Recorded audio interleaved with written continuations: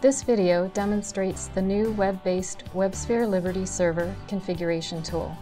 This tool makes it possible to view and edit server configuration files from a web browser. To enable it, simply add the Admin Center feature, Key Store, and Quick Start security elements to your server.xml file. Optionally, if you're planning to use the tool to make changes to the server configuration, add the Remote File Access element.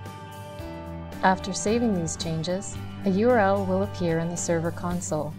Open this URL with your favorite web browser. Log in with the Quick Start security credentials.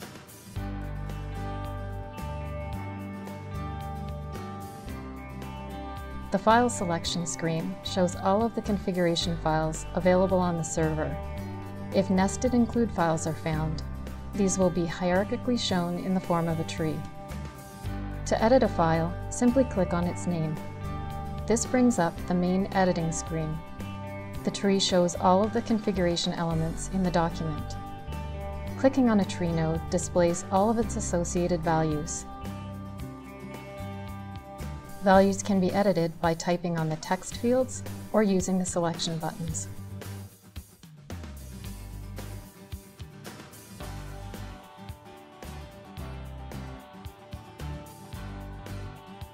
If a mistake is made, automatic validation provides instant feedback.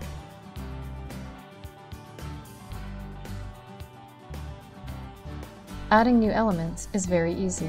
Simply click on the Add Child button and select the element to be added.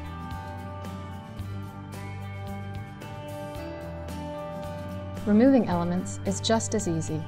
Simply click on the Remove button and provide confirmation. The order of the elements can be changed at any time using drag and drop gestures. The source of the document can be accessed by clicking the Source tab Syntax highlight, cover information, and content assist features are available. After changes are complete, click on the Save button to persist them on the server. This concludes the WebSphere Liberty Server configuration tool video. Thanks for watching.